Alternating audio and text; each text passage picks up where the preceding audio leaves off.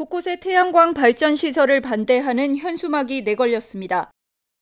마을 뒷산에 30만 제곱미터, 축구장 40개가 넘는 크기의 태양광 발전 단지가 들어선다고 하자 주민들이 반대에 나선 겁니다.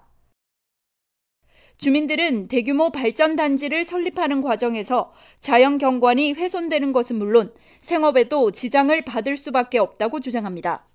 산약초, 산양삼삼, 뭐 양봉 이런 청정 지역을 담보로 해서 우리가 생계를 이어가고 있는 주민들 마을 위 산꼭대기에 몇만 평을 어, 난개발해서 태양광이 들어선다는 이게 말이나 되는 이야기입니까? 실제 최근 3년간 태양광 발전 시설로 인해 베어진 나무는 경북 도내에서만 여의도 면적의 2.5배에 달하는 790헥타르, 60만 4천 그루가 넘습니다. 지난해 청도군에서는 집중호우에 태양광 시설이 무너져 내리는가 하면 화재도 잇따르는 등 관련 사고도 끊이지 않고 있습니다. 각종 부작용이 불거지면서 정부도 허가 기준을 강화한 상황.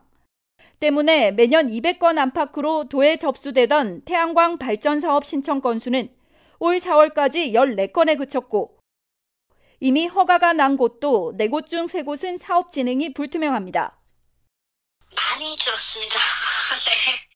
태양광이 임야 쪽이 주였는데 그렇게 되고 난 다음에 거의 임야 쪽은 거의 안 들어옵니다. 네.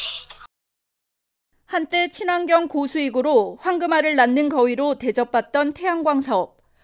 환경 파괴 논란과 함께 미운 오리 새끼로 전락하고 있습니다.